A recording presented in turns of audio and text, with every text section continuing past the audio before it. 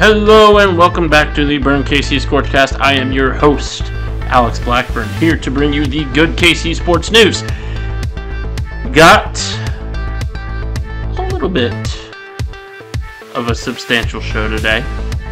Um, gotta go over the college football debrief, basically. Um, little bit to go over in regard to that. Um, have something that I really, really want to get into in regard to Lance Leipold in Kansas, um, because there's there's something there uh, regarding a potential extension for Kansas's head football coach. So gonna get into that a little bit. Um, nothing really on Missouri and Kansas State's front. Obviously, you know they all three of them finished in the final AP poll. Uh, Kansas ranked 23rd. I believe K State was ranked 19th, and then 19th or 21st. I can't remember. I believe it was. We will check and see. I believe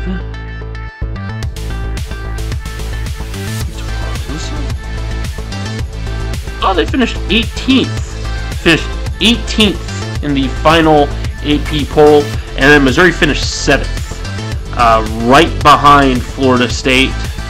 No real surprise there. Obviously, you know, Florida State was undefeated until bowl season when their entire team left. Um, so, you know, they're. I'm not going to get into that whole playoff argument here because uh, you can go check college football dogs for that. Um, but we'll we'll mainly be talking about Kansas. When do we not? um, apologies if your school does not get the attention you think it deserves. I'm kind of a KU homer if you haven't figured that out. Um, but thank you for watching, and I appreciate your presence if you are a K State and Mizzou fan. Um, I've kind of talked about our college football segment a little much. Uh, we're also going to talk about the Chiefs. We're going to talk about a certain rugby camp heading to the KC area here in the next couple of months. And finally, we have some conference opener reactions for college basketball. So strap in, sit tight, and enjoy the show. Okay. So let's start with some college football. Uh, like I said in the intro, all three teams finished in the AP Top 25 poll the first time in a very, very, very long time that that's happened. Um, I believe it's been over 20 years. So that's pretty crazy. Um, but congratulations to all three teams on good seasons. Uh, there's bigger expectations, though, for next season for all three. Um, Missouri has an excellent recruiting and transfer class coming in, uh, so they should be a lot better, to be honest.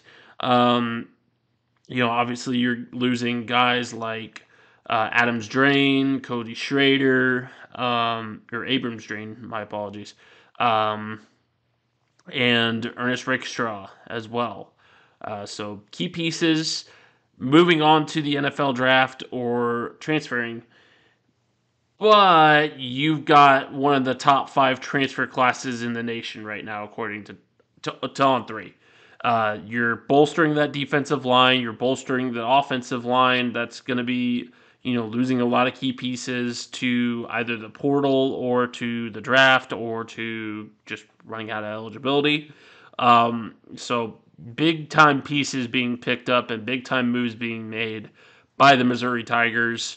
Uh, expect them to compete once again for an SEC championship. Um, as for K State, K State hasn't really all they haven't been all that active in the transfer portal as far as I've seen, at least. Uh, they had a decent signing class. Um, nothing too crazy to write home about. They're still hung up on the fact that we recruit the best in state. We recruit the best in state. Mm, you're losing that edge. I hope you know that. A good half of Kansas's football team is from Kansas. Um, and they're recruiting Kansas players, or Kansas high school kids, to play in at, at Kansas. And uh, the whole mantra that's been around since the Snyder era, mind you, of well, K State just recruits better locally is starting to slip away because Kansas and Missouri are noticing that there's talent in house that they can pick up. And the longer you gloat about having that in state edge, the sooner you're going to lose it. Because the more you gloat about having it, the more schools are going to take notice. Oh, you know, there are kids in the KC Mo area, in the Kansas area, or in the Missouri area that are really good at football. So it's it's it's funny how that's a double-edged sword and it's also funny the fact that K-State thinks they're going to maintain that edge with how fast Missouri has caught up and how fast Kansas is catching up in terms of the local recruiting. So, you know, hold on to that while it lasts, I guess. You're not going to have it for very long. Kansas is being extremely active in the local community. I think they just picked up a couple kids from Blue Valley, if I remember right. Um, I know that the top recruit in the state is visiting for the class of 2025 is visiting here in the next couple of weeks. Uh, they're visiting Kansas. Um, so that whole mantra is just, yeah, it's really the only thing that Kansas State is going to be able to hold over the other two local schools' heads for at least for now. Um, again, like you guys have lost Snyder. Klieman's good. He's not Bill Snyder though. So I'm I'm intrigued to see where recruiting goes and where talent goes over these next five years. So, uh, as for Kansas, like I said, Kansas is the biggin. This this topic. Um, Kansas got a commitment from a four-star linebacker, Malik, or excuse me, Malcolm Kirby, um, who chose Kansas over the likes of, I believe, K State, Oklahoma, Michigan, who just won the national championship, mind you, uh, and others. So this is a huge pickup for the Jayhawks. He's going to fit right in um, come, you know, 2025. So big pickup for the Jayhawks there. Uh, congratulations to them. Uh, they also picked up the D2 Remington winner. Uh, if you don't know what the Remington is, the Remington is the top offensive lineman in the country, um, and he was the top offensive lineman in Division Two. Uh, let me clarify his name real quick. Uh, it's Andrew something. No, Shane. Shane Bumgardner. Uh, Shane Baumgartner. He played for Tiffin. Yeah, Tiffin University. If you know where that is. Um, I personally don't. I, I'm not entirely sure where that is. Um, you know, shout out to Shane for for committing. Uh, you're going to greener pastures, I guess. Um, but hopefully Tiffin treated you well. As far as the main story regarding Kansas, first and foremost, I put out an article on College Football Dogs regarding this issue, and it got over. Let's see what it's at now. Um, let me see. Let me see here.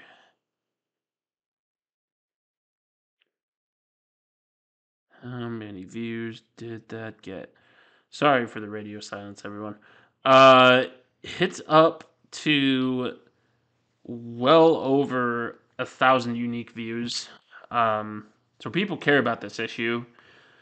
Uh, and that's the issue of extending Lance Leipold. Um, so, according to Mike Vernon, who is the Scoops Meister, if you know him, uh, he's got kind of the inside information on Kansas athletics, uh, along with Bryson Stricker, Michael Swain, uh, and multiple other sources. Um, Lance Leipold and the Kansas athletics department are heating up in regards to extension talks. And what this is looking like right now is that Lance Leipold may become one of the top 15, if not top 10 highest paid coaches in the NCAA right now. And it's well deserved because the turnaround that has happened at Kansas has been nothing short of miraculous. I mean, it truly has. This uh, a reminder in case you forgot. Kansas football was a dumpster fire for about a decade and a half. And Lance Leipold has them going 9 and 4 now. So the the the turnaround that has happened from going without a win in 2020, Lance or excuse me, uh, Les Miles is last year. To Lance Leipold coming in, and while only going two and ten, being competitive in pretty much every single game that year. And and winning over a Texas team in Austin, a lot of the Jayhawk faithful knew that something was there. And when 2022 came around, a lot of people were a bit skeptic, but the people that have been paying attention to this program knew that something big was coming. In my 2022 uh, Big 12 rankings, I put Kansas at, I believe, like six or seven uh, in the Big 12. And I believe they finished around there. So I think a lot of people sorely under sorely underestimated that Kansas team. But when the 2023 season came around, it was like, okay, you know, Kansas could definitely eh, compete for a top five spot in the Big 12. And that's exactly what they did. Did they have some hiccups along the way? They absolutely did. That Texas Tech game was awful. They, and you know, if Jason Bean had started for the K State game, I believe Kansas would have wiped the floor with them. If Jason Bean was at full health, they would have wiped the floor with them. Um, and then, you know, going into Stillwater, going to Boone Pickens Stadium. Boone Pickens Stadium is one of the craziest venues in college football. It is. I mean, the, that's a great home field advantage. Um, it's loud, it's rowdy, and the fact that Jason Bean had a ton of success there, he threw four touchdowns. Yeah, he threw a couple of back-breaking interceptions, but he still threw four touchdowns and for over 400 yards. That's not something many quarterbacks can say when they go to Boone Pickens Stadium.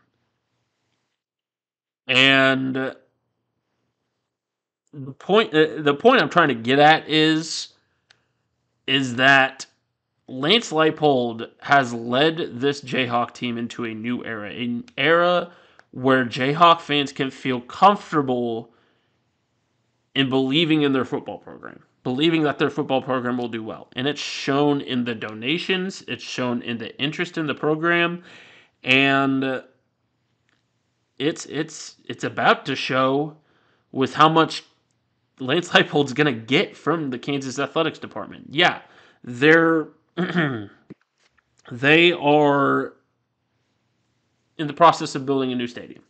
That's going to cost a lot of money as well. That being said, there's a lot of money still to be given to Lance Leipold.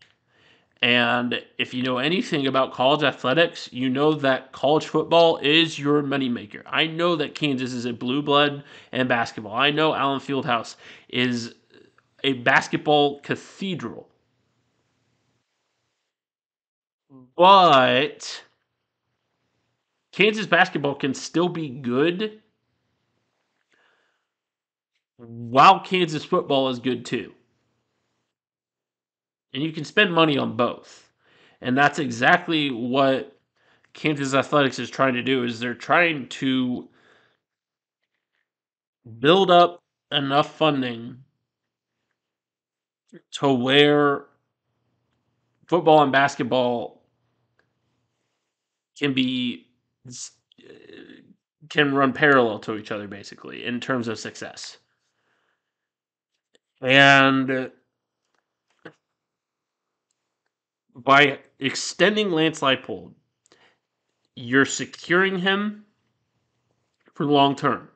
I get that his that his contract runs until 2029.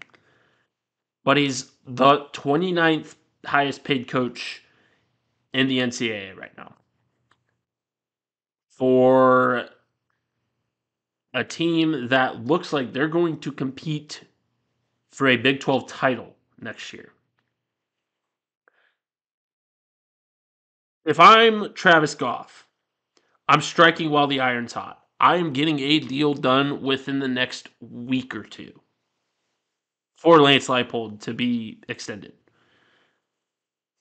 And there's talks of getting him upwards of seven and a half million dollars a year, which would put him in that top 15 range. I would estimate it to be around 9 million a year. I think that keeps him here long term. I think that it is a handsome salary for a coach that has given you the absolute world. And I think striking while the iron's hot and being proactive about this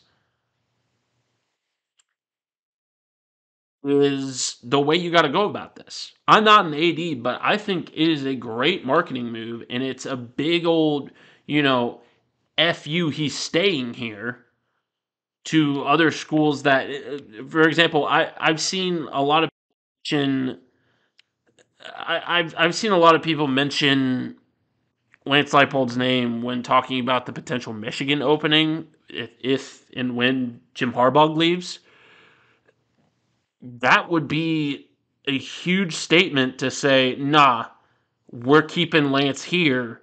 You can go look somewhere else if you pay him that money, like right now, so that that is guaranteed. I think the people that are invested in it and know what's and, and are benefiting from Lance Leipold being here, such as you know the media people like myself, know that encouraging action and keeping this story in headlines is the way that Lance Leipold gets paid and paid handsomely because you're encouraging people to pay attention to it and it's clearly seen that people want it done. So getting it done for Kansas and for the future of this football program is imperative. It's not only warranted, it's imperative for Travis Goff to do so. And I think he knows that. I, I think he's a great AD. I think he's got a great head on his shoulders. He's already imp- uh, he's already been a part of improving this program, this football program by light years. So I think he gets a I and all signs point to a deal getting done within the next couple of weeks. So keep an eye on it. I know I'm going to keep my ear to the ground in terms of what's being said. Um, there's a saying in the industry we like it quiet because that means something's about to happen. It's been pretty quiet on that front uh, for the past couple of days. So be on the lookout for something. Um, but we'll go ahead and move on to college basketball. Uh, got a few things to talk about there. So.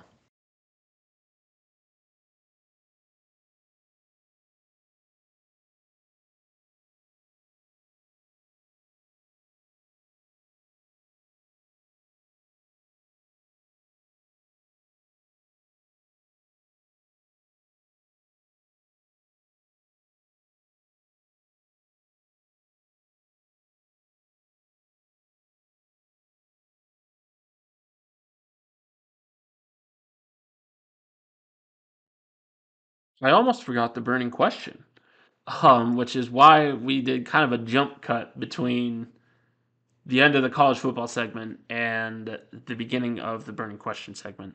Uh, so my apologies for that. But I asked you guys who out of all the local teams had the best performance in their bowl game. And the results were kind of interesting. Um, the Instagram poll here has Missouri at 50%. I had them as their as the least impressive bowl win. And you know, I get it. It's Ohio State. You know, they're they're a football juggernaut. They're they're they're a football blue blood. But I mean, that was their JV team playing. I, they had their third string quarterback in. They didn't have Emeka Egbuka. They didn't have, or I think they had him actually. Never mind. I, I think they had a Egbuka, but I mean, he was a non-factor. They couldn't throw the ball. So even if Marvin Harrison Jr. was there, uh, like there, there's a lot of factors that I'm like, you know, it kind of puts a damper on this Missouri Bowl win. And it's still impressive. Don't get me wrong. You know, that is a fantastic Ohio State defense that you know was one of the best in the nation and didn't lose all that many pieces uh, to opt out or transfer portal or drafting or anything like that. So you know there's something to be said for that. But I mean when you're facing an offense that is just completely gutted. Eh, it, it, it, it it could have been a cooler win if Ohio State had fielded their best and brightest. Let's just say that. Um, the next highest was was Kansas and UNLV. It was it was you know as a Kansas fan I I appreciate the fact that a lot of people believe that that was the most impressive win, but at the same time it's UNLV. they're they're a Mountain West program, and while they were a very very good Mountain West program, Kansas should have beaten them by a lot more, and they probably could have beaten them by a lot more if it hadn't been for the slew of penalties that were called against them. Um, you know, whether they were justified or not, there was a ton of penalties called against Kansas that kind of shot him in the foot. Uh, Jason Bean's three interceptions wasn't they weren't all that great. Um, he still threw six touchdowns and had a bowl leading bowl season leading 449 yards passing. Uh, so there's something to be said for that as well. Uh, I I had Kansas State and NC State um, as the most impressive win for the local teams. And, uh, you know, while we may not have seen Avery Johnson's like marquee performance, like his coming out party or anything like that, he still looked pretty good. Um, both with his arms, both with his arm and with his legs, um, against a very, very, very good NC State defense. Again, top five in the country. Um, and just the rushing performance that they put on against them. I mean, DJ Giddens is an absolute stud. Uh, and I think everybody in the Big 12 at least knows that. Um, and he ran all over this defense. And yeah, they were missing some key pieces, but they were they really weren't missing all that much. And this is still an offense, an NC State offense that can put up a ton of points against a K State defense that was missing quite a few pieces. So overall, I think that's a pretty impressive win. Uh, all three of them were in their own in their own way, but as far as the win that impressed me the most, Kansas State, because honestly, I thought they would lose. So, and they were the only team that I thought would lose. So, there's something to be said for that. So, um, but moving on. Okay. Let's talk some college basketball. Um, regarding conference openers, boy, howdy. Let's just continue Kansas talk here. Um, well, let me let me first say that uh, Missouri's only down five to Kentucky at Rupp Arena, so that's that's something to keep an eye on. Uh, and then Kansas State is down two to West Virginia in Morgantown. So both games to keep an eye on there. Um, I'll talk about them here in a few minutes. Uh, ooh, Houston's only down. Houston's down ten too. I might add. Um, but Kansas. So Kansas, it, uh, it's a win. but oh man, it was way too close for comfort against a TCU team that has talent and looks really good, but it's a team that you probably should have beaten by a lot more if you're the preseason number one, if you're predicted for the Final Four this year. I mean, it it was a sloppy game by Kansas. Way too many turnovers. Um, just an overall bad shooting performance too. Um, I mean, I guess the field goal percentage was 53, but you know you had 18 turnovers, which is inexcusable. I mean, uh, 18 turnovers against a team that you out that that you're bigger than, that you're more physical than even. Um, I get it, you know, Ernest Udeh. Yeah, he's a big physical guy, but he's a bull in a china shop. I mean, uh, we saw that when he was at Kansas last year. He's a bull in the china shop. He's got a lot of raw talent, but Dickinson should have just been walking all over. I mean, you know, he didn't, but he kept with them in a physical manner. Um, and the whole thing about the flagrant call at the end and all the people complaining that's not a flagrant that's not a flagrant please read what a flagrant is before you spout off on it. A flagrant one does not have to be intentional. It just has to be a non basketball move, which it was. You don't throw your elbow back when the ball is in front of you. And Ernest, like I said, is a bull in a china shop. He doesn't know how to move his body by the looks of it. And it, and it showed the whole game. I mean, he's got a ton of raw talent. I mean, he's great in the paint when he when he can be, but I mean, Hunter Dick Hunter Dickinson should have Hunter Dickinson put up 30 and 11 on him for a reason. And could have done better. And I think he frustrated Udeh to a point of where he pulled that, you know, whether consciously or unconsciously, and it ended up costing him.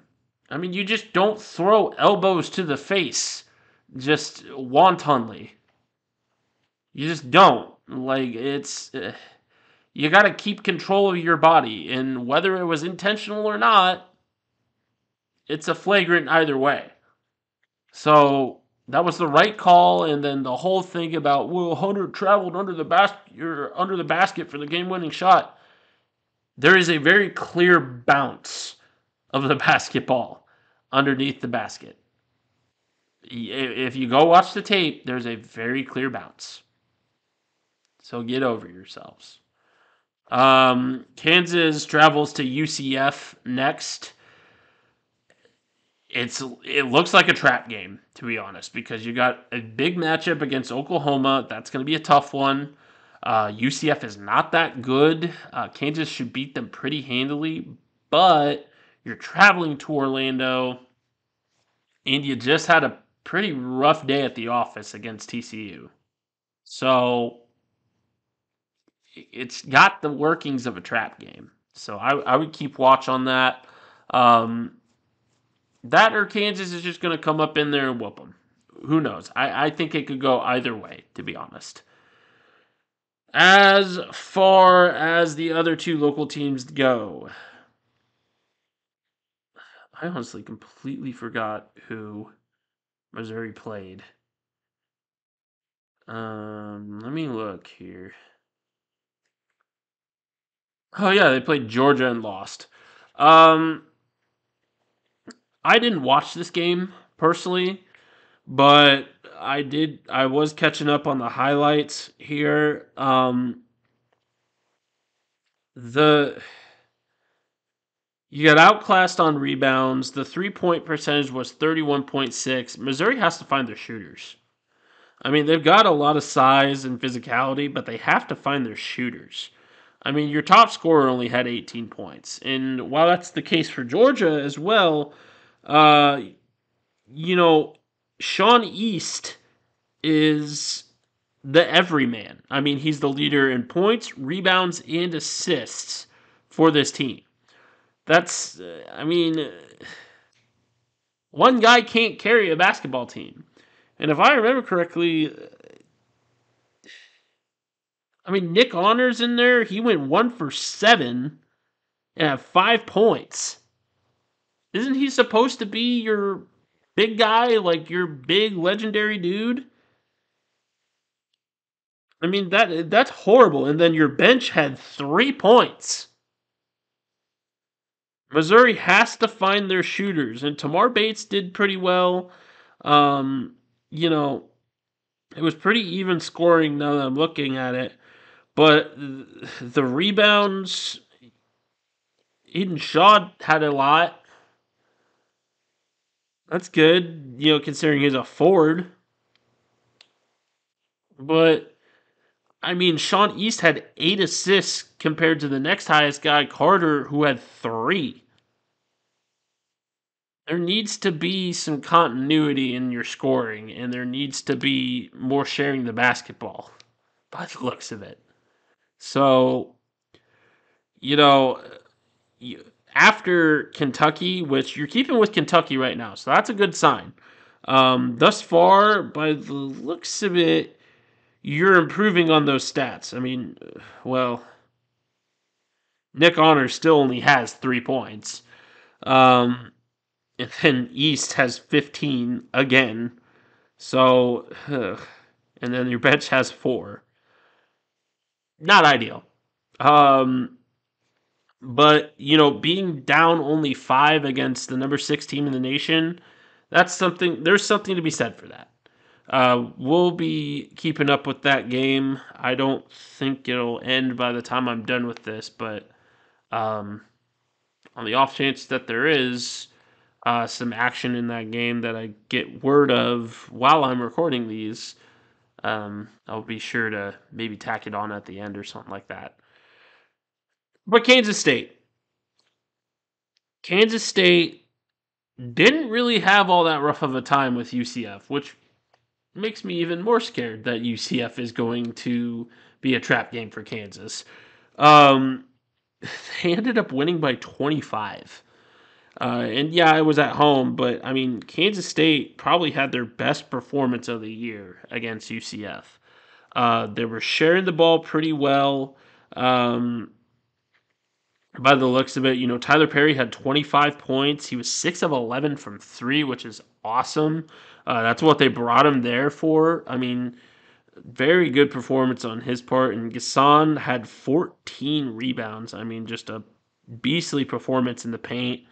Um, and you know, your bench actually did pretty well in scoring. Um, you got seven, eight, nine. You got 10 bench points, which isn't spectacular, but you know, when your starters are putting up 25, 12, 14, uh, and 11, uh, you know, other than N'Guessan, uh, everybody's got double digit points. You're doing something right.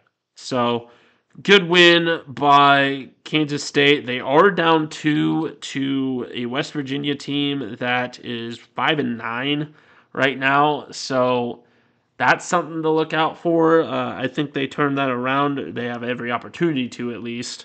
Um, but it's definitely something to look out for um, in regard to how they're performing. Uh, hopefully, they can get that turned around and bring home a W from Morgantown. Morgantown's a tough place to play, so that's probably why they're struggling. Um, but they can definitely turn it around uh, if they just, you know, show that continuity as a team. Uh, they have Texas Tech next too, so uh, it doesn't get a whole lot easier. Uh, Texas Tech at Tech, mind you. So uh, big day for college hoops. We'll see how those two games go, and then Kansas has their matchup with UCF uh, tomorrow. No, on Saturday, I believe, or is it Wednesday? It is Wednesday. Okay. Let me clarify that real quick. I believe it's Wednesday. No, I don't want the SEC. It is Wednesday. Yeah, okay. So it's tomorrow. My apologies. Um, and then Oklahoma's on Saturday. So sorry for getting those days mixed up. Okay.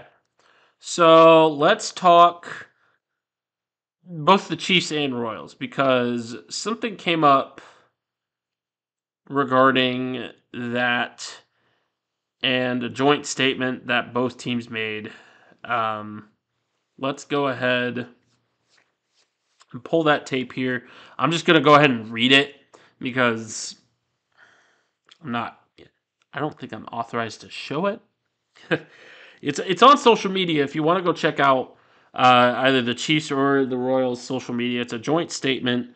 Um, what it says is we thank the Johnson County legislators and county executive Frank White for their decision today. We still have a lot of work to do, but this is an important step towards giving John, excuse me, Jackson County, uh, Jackson County voters the opportunity to decide on April second. Uh, it guarantees that the Royals are at least staying in Jack. I keep on wanting to say Johnson County. I live there, um, but they're going to stay in Jackson County. Um, you know, I'm not surprised to be to be frank. Like, I think you had a lot of complainers, myself included, that really did not want the Royals to move too far. Uh, I think a downtown stadium is a good idea if you can pull it off. Um, and if Jackson County wants to Jackson County wants to pay for it, which is the next statement that I'm going to go over here. Um, Kansas City Chiefs and Kansas City Royals commit more than 200 million in economic benefits to Johnson County as part of a path forward. The Kansas City Chiefs and the Kansas City Royals today announced their commitment to remain in Jackson County if Jackson County voters approve an extension of the 3 8 cent tail sales tax on a ballot initiative this April. The Chiefs and Royals have partnered with Jackson County for 50 years in a partnership that has worked well for all constituents. Uh, as part of the proposed agreement between the teams in Jackson County, the teams have agreed to provide more than 200 million in new economics, new economic benefits to Jackson County over 40 years in the new lease agreement, alleviating the county's obligation to pay stadium insurance premiums as well as the park levy to the teams. Under the agreement, the Chiefs will conduct an extensive renovation to the iconic Arrowhead Stadium. The Royals will build a new downtown stadium and privately fund a $1 billion ballpark district. And that's about all I'm at liberty to read. Um, uh, the TLDR of that is the Royals and the Chiefs are staying in Jackson County for the foreseeable future. The Chiefs are going to get a renovation, and the Royals are going to get a new downtown stadium with a privately funded, they finally specified that, a privately funded uh, a baseball like entertainment district, which is cool. Uh, and I'm very happy that it's privately funded because I don't think Jackson County would want to pay for that for that project. And when that project came about and they weren't really specific as to who exactly was going to pay for that, truly was a little mad and I know a lot of other people were really mad too. But this is it's reassuring. It is. Um, the 3 8 sales tax may still be a hot button issue. Um, you know, but it's I, I believe it's the same thing that is going on right now. Is it not? Yeah, it's it is it's an extension of that tax. Um Gosh.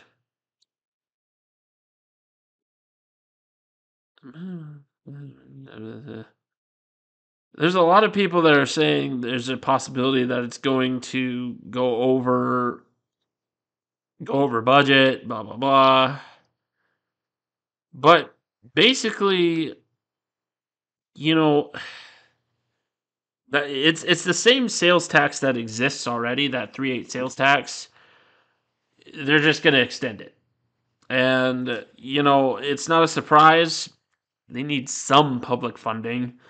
Uh, but the commitment to 200 billion in revenue is something. Um, but we'll we'll we'll have to see if that ends up being anything. Um, because I, there's a lot of warranted skepticism with the Royals. Uh, it took them a long time to put this statement out. And while it's a welcome statement and it's a reassuring statement, a lot of people are like, well, you know, I'll believe it when I see it. And I'm kind of of, of that mindset as well. But I do like the fact that they're at least being transparent now that they know what they're doing by the looks of it, as far as you know where they're going to go with this new stadium. But at the same time, you know, I I do feel for the people that are saying, well, it's going to go over budget. You know, um, they're going to ask for more money from the public.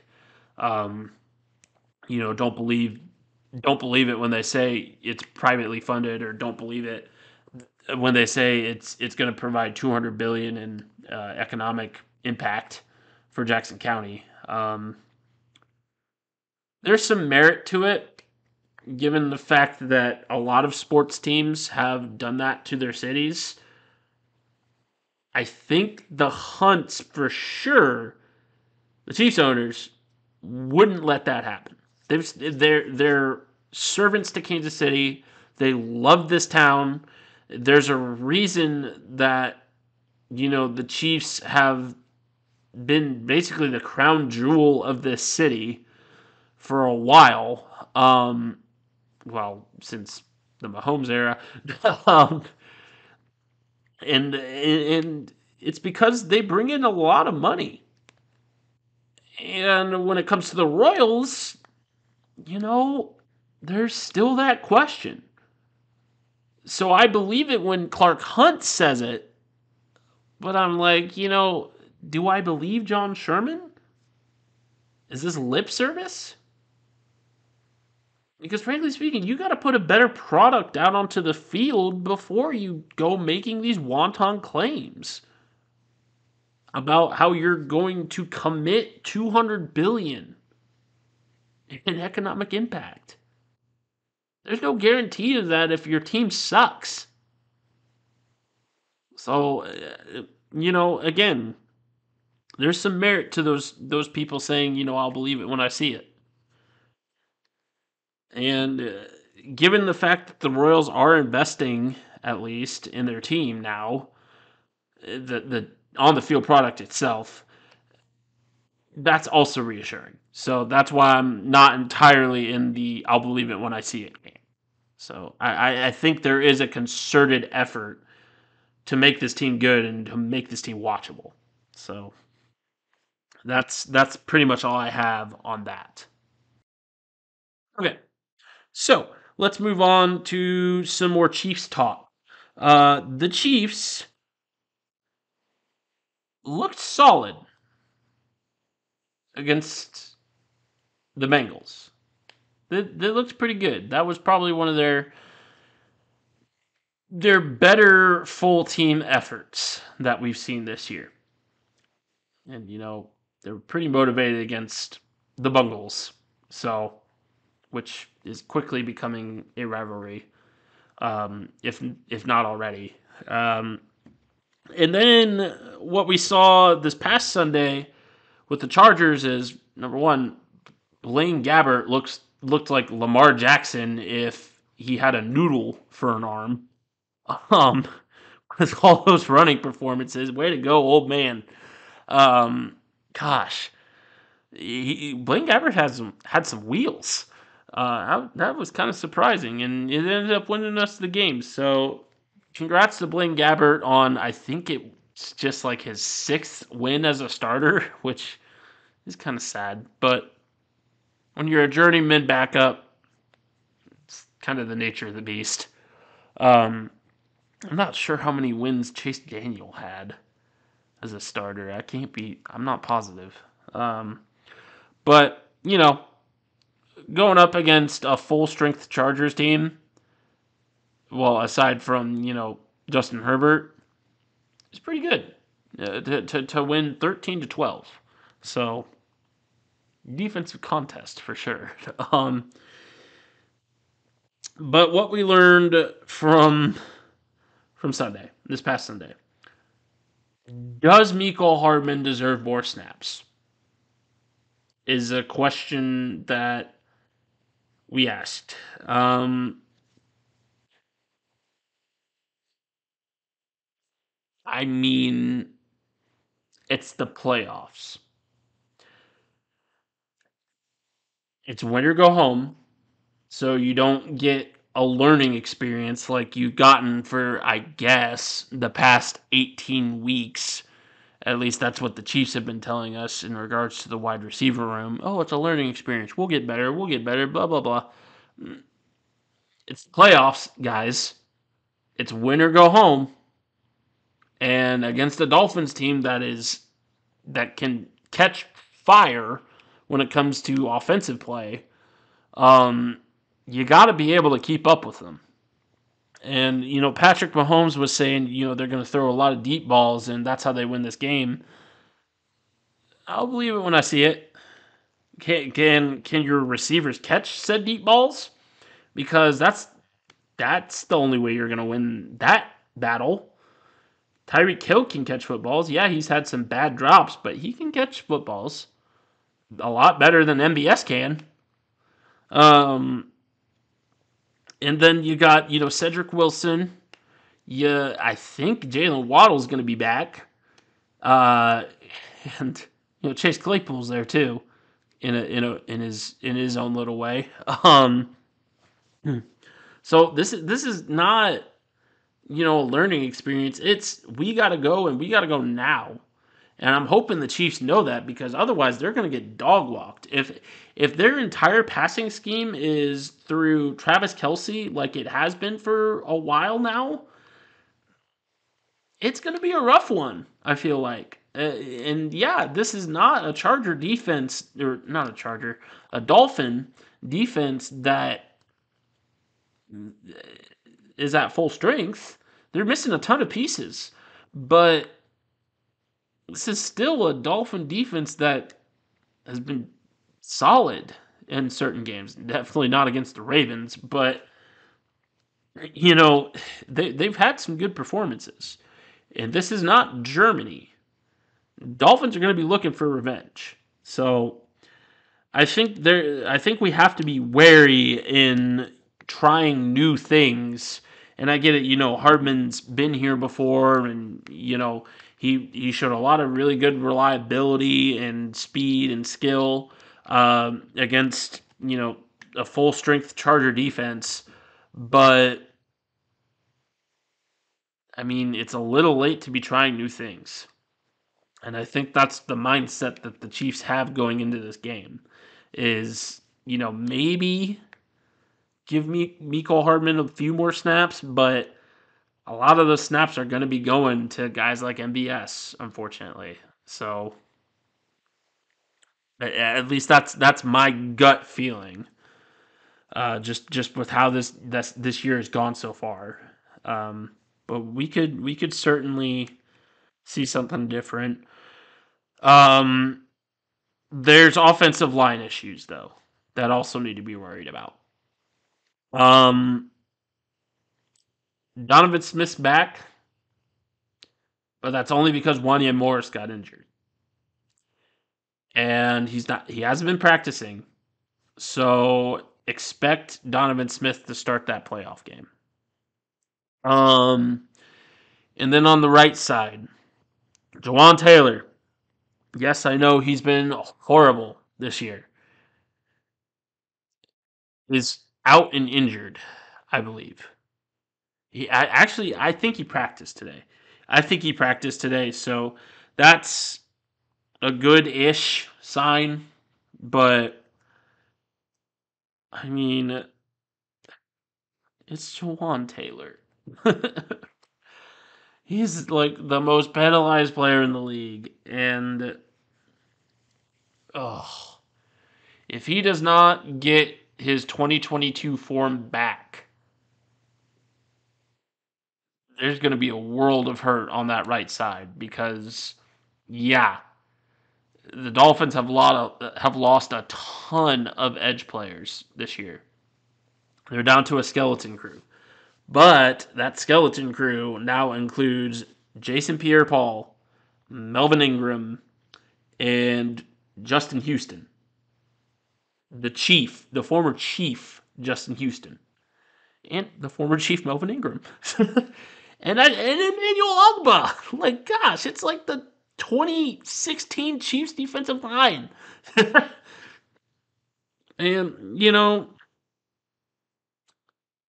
man, if they, I mean, those are guys that have playoff experience. Jason Pierre Paul is there too, mind you. And he's won a Super Bowl. Melvin Ingram's won a Super Bowl. Justin Houston hasn't. But, you know, there's playoff experienced guys on that defensive line. Jawaan Taylor has a single game, I think, in the playoffs. Not great. Not great. Maybe two. I, I honestly can't remember. Um. So have a gut feeling that this is going to be a potential rough one for the Chiefs. Um, the team definitely showed that they have depth at the very least, but is it going to be enough? Is it too late to incorporate that depth and incorporate, you know, Mecole Hardman into the starting rotation of receivers and do everything of that sort? I think it is. So the Chiefs got to put up or shut up. And if they don't put up, they'll be shut up for the rest of the season. So we'll see how everything goes. I'm I, I feel pretty meh about this one. It's the next one that I'm really worried about. But we're going to take these one at a time. So, all right, let's talk about PR7s and then we're going to wrap this baby up.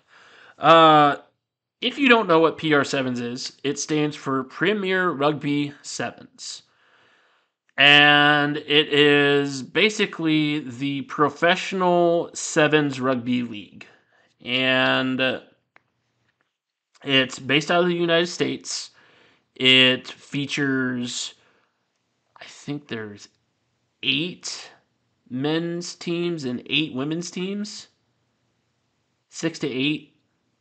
I can't remember off the top of my head, but um, there's around that many teams for both men and women. Um, so it's it's a it's not a co-ed competition, but there's a men's league and a women's PR7s league. And they basically travel around the country, play tournaments, um, and scout players uh, to play in this PR7s league. And they will be coming to Kansas City January 28th to scout out the best and brightest in Kansas City rugby. Um, I know that there's going to be a good handful of blues players there. I'm sure there's going to be players from the local colleges. Um, we're probably going to have you know KCRFC players there as well, um, and you know anybody that wants to try their hand at becoming a professional rugby player. Um, you know, go out to this event at over. It's somewhere in Overland Park. Let me clarify. It's at St. Thomas Aquinas High School, so home of some really, really good rugby. St. Thomas Aquinas. Uh, that's where the tryouts will be held. I may make an appearance, but I don't think I'm going to be trying out. I am a little bit too big and slow for sevens. Um, but you know, good luck to all my friends and all of my teammates that will be going out and trying their hand at becoming a professional sevens player. Um, I've already had a couple friends that have gone, or friends and teammates that have gone through that circuit. Uh, Kyle Renner and Aaron Martin are both guys that have gone through the PR7 circuit, as well as Amanda Hull as well uh, for the women's side. So I believe all three of them are going to be retrying um, for their shot at professional sevens. Um, but it gets you recognized um, and it could potentially get you into Olympic competition and get you looked at for the USA sevens pool. So um, it's it's worth it's worth at least looking at if if you've ever been interested. So um, I'm hoping to see some good results for the people that I know that are going out. Uh, I have a lot of friends and teammates that are going out to that, um, and I may go out and cheer y'all on. So look for me, look for me. Um, but that's basically our show. Uh, thank you for joining me on this fine Tuesday night, uh, or if you're watching later, Wednesday, Thursday, etc. Um, I'm going to have a Scorchcast released hopefully within the next week. um, or I should have something released by Tuesday of next week, uh, is how I meant to say that. But be on the lookout for some new features regarding the Scorchcast. Uh, I know that I've said this before, but I promise you it's going to be happening within the next week. Um, I have the green screen software put onto my system or onto my computer. Just a matter of where exactly I'm going to set said green screen up um, because there's really, I'm on my couch right now. Um, there's really not a great place to set it. Maybe across here, but we'll see. I mean, I don't know. Um, I'm thinking about potentially moving back to that kitchen table Uh, my butt does hurt after a while of sitting over there, so I may bring a cushion. But you know, um, just we'll we'll we'll have it figured out by next week. Uh, like I said, I've messed around with the software a little bit. Uh, I got it pretty much figured out uh, as to how I'm going to incorporate it. So, um, be on the lookout for some new features regarding your Burn KC Scorchcast. Um, that being said, this has been the Burn KC Scorchcast. Thank you so much for joining me. Have a great evening or morning or day, uh, depending on when you're watching. And I shall see you next episode. Thanks.